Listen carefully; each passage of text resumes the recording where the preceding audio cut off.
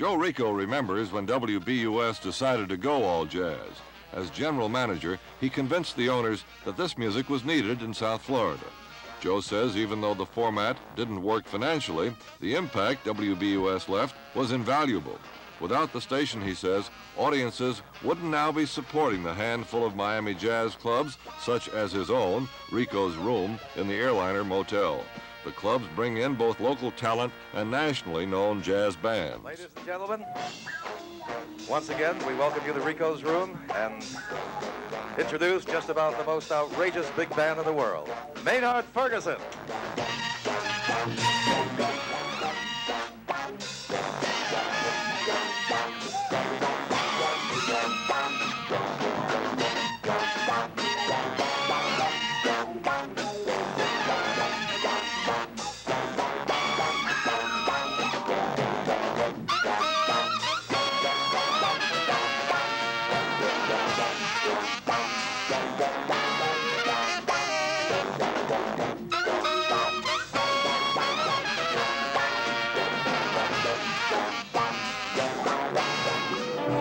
Jazz rooms aren't the only places you hear this music.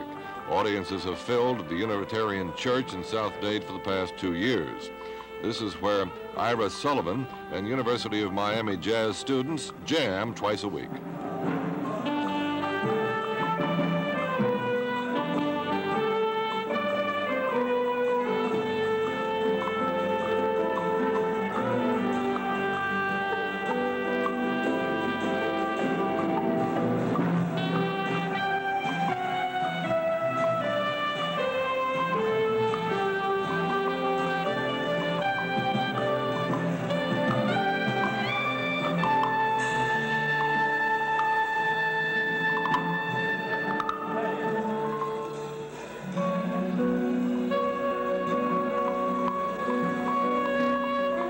Ira says he doesn't care if the audience isn't watching.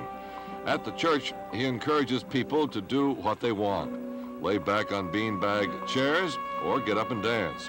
Jazz, he says, is a personal experience for the audience and a practical experience for the musician. Trying to give the young musicians a place to play where they can realize their highest potential and not have to uh, pander, shall we say, to the marketplace or where they have to just always play exciting music. You know, right now, tonight it's been quite exciting here, but a lot of times we get uh, very cerebral and very creative and go whatever way we want, make up our own melodies, make up our own tunes, and this is what these people are studying. They're studying a highly sophisticated form of music at the university, and uh, usually when they go out to earn their first, first money playing jobs, it's either playing disco or rock or some kind of entertaining music.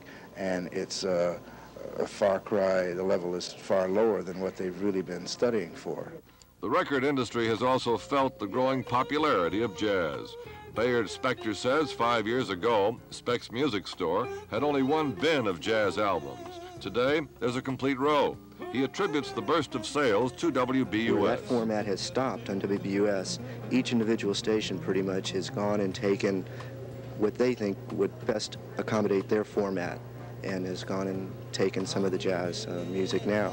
And it's really just boomed. I mean, we're just selling more jazz than we ever dreamed of selling.